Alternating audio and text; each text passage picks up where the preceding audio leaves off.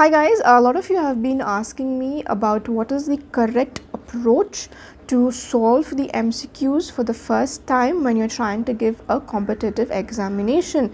Well, I understand uh, from the feedback from a lot of students the common mistakes that are happening when solving these MCQs, and ultimately you end up wasting a lot of time uh, behind these MCQs and does not fetch the correct kind of a results. Well, I'll be discussing that today and telling you the correct methods of solving the MCQs for the first time and also for the second and third time of your revision. So, uh, continue watching the video till the end so if you want to gain some value based uh, exam strategies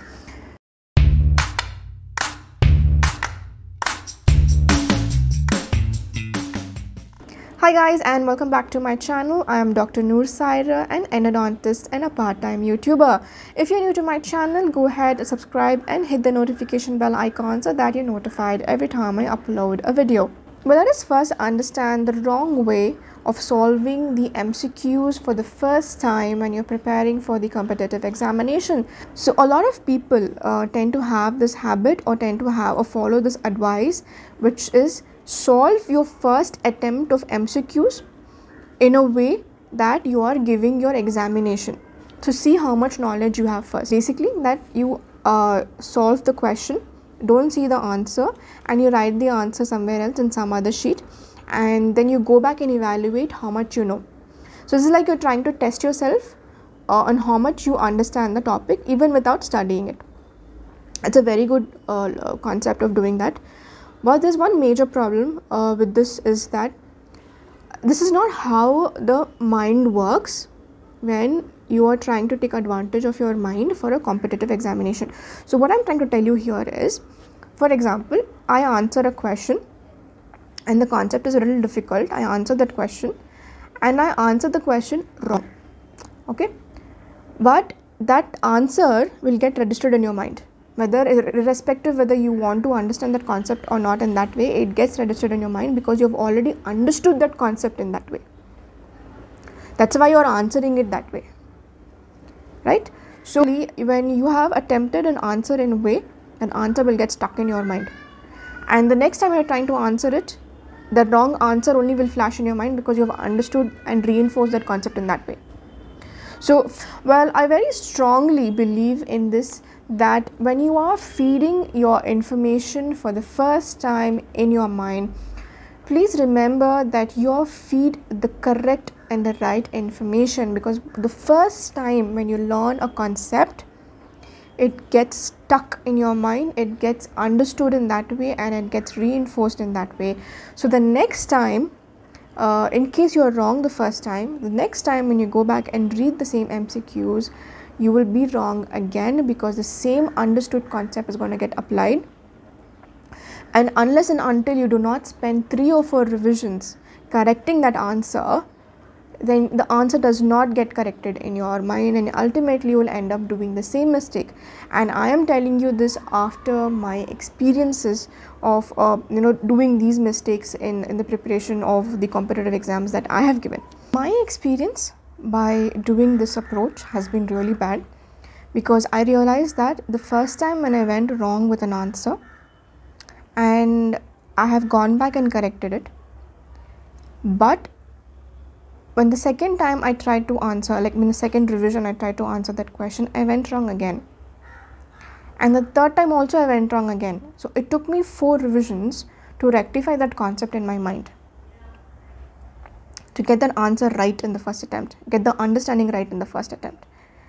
So I don't think that attempting the first attempt of understanding and learning these MCQs, attending them as an examination is a good idea because I strongly believe and I've strongly experienced that uh, in the first attempt of your reading, it is important that you feed the right information in your mind because that right information is what's going to get memorized or reinforced in your mind. So, in your first reading, take good amount of time to solve the MCQs, learn them, understand them answer them check the answer right then and there. If it is wrong learn the concept then and there. So quality is always winning over the quantity because you have to learn approximately 20 subjects when talking about an MDS entrance examination. So I'm sure similar amount of quantity of, uh, of material is there for other examinations as well. So it's important that whatever you're rem remembering and learning that has to be at least quality or quality oriented because that's what will make the difference in the ultimately in the end of the day. So first attempt always make sure that you are reinforcing the right information in your mind and when you're going wrong with that question you encircle that question by saying okay i found this question difficult. So the next time i'm going to revise this again. And the other concepts which you go right with confidently you can leave them and not mark them because you know okay i know this concept. Somewhere it will be there in your mind that you have understood this concept. So it's important that the first attempt you clarify then and there probably from the second attempt and onwards you can use it as an exam scenario for your like a mock exam scenario where you're trying to see how much you remember and then you evaluate. Well another common mistakes when uh, students do is when they're reading mcqs for the first time is they tend to mark the answer on the mcq question answer itself. Don't do that you know because uh, the next time when you're trying to answer that question you're just passively looking through the answer so and you, are not putting your mind into an active recall technique you're not putting your mind into thought process technique. So you probably will go wrong in the exam you know not be able to apply or use the uh, knowledge in the exam because you're not able to use the knowledge here in the revision and you do not know whether you will go wrong or right. So it's important to test yourself in the second and the third revisions to see what what how much you remember for the first reading that you have done. So do not mark the answers just see the answers because anyways it's either given behind or just below on the page. So just see there and do not mark these answers. Encircle the questions which you are going difficult you know which are going wrong on so that you can revise it again and again.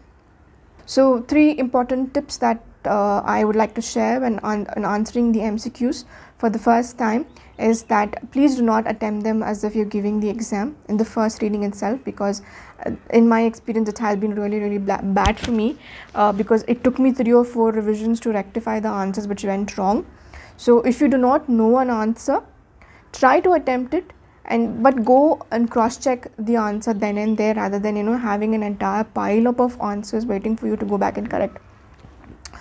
Also do not mark the answers on the mcq book you know just leave it blank so that next time also you're you're applying your mind and brain to remember and recollect the answer so that you know that you have understood the concept right or wrong. And the same mistake does not happen in the examination. Also mark the difficult questions so that you know where you're going wrong so you can come back and revise these questions again and again so i hope you found this video helpful. And uh, if this did bring value to your life please leave a comment in the comment section. And uh, if any more uh, you know clarifications or any advice is required from my side you can always message me on my instagram page or leave a question in the comment also. Uh, well thank you for watching the video and have a good day and all the best for your exams for more such videos, please like, share, follow and subscribe my YouTube channel. You can also follow me on Instagram. Have a good day. Thank you.